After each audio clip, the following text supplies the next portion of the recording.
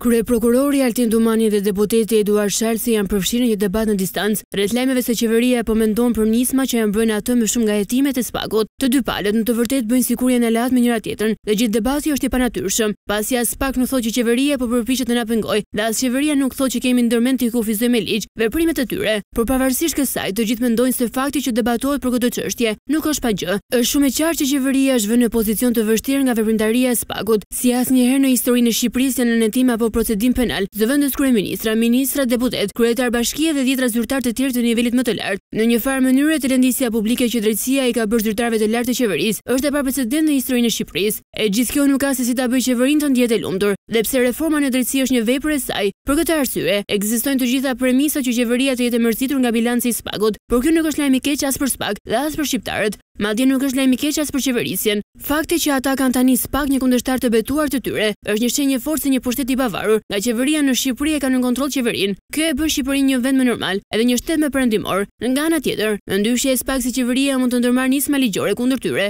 vlen vetëm për t'u ndier të pakënaqur politikisht, por pa asnjë arsye më tepër. Kuadri ligjor që rregullon veprimtarinë në spak është miratuar nën mbikëqyrjen e drejtpërdrejtë të SHBA-së dhe BE-së dhe është një nga standardet që ne kemi plotësuar për të shkuar drejt Bashkimit Europian. Çdo regres në këtë drejtim, natyrisht që do të kundërshtohej me forcë nga aleatët perëndimorë, kështu që nuk ka për të ndodhur. Politikisht spak ka humbur vetëm mbështetjen e grupit të Berishës dhe Ilir Metës, por kjo vjen për shkak të konfliktit të interesit që ata kanë me drejtësinë dhe jo për shkak të spak-ut. Qeveria e ka përmbajtur veten përballë ndëshkimeve nga spak dhe ka respektuar ligjin për secilin që i është dorëzuar drejtësisë. Spak si një prokurori speciale antikorrupsion, edhe pse po godet klasën politike, atë në pushtet dhe opozitë, nuk ka shfaqur deri më sot shenja të protagonizmit politik apo keqpërdorimit politik. Fakti që qeveria është e shqetësuar prej tij është një lajm i mirë edhe për qeverinë edhe për Spakun. Lajm i keq do të ishte t'i shikonim si dikur prokurorë që dënonin Fatos Nanën si kryetar opozite, se si përqafoheshin me Sali Berishën që ishte prokuror real. Madje vazhdojmë t'i shikojmë pas tij, por tani si avokat, falë Spakut.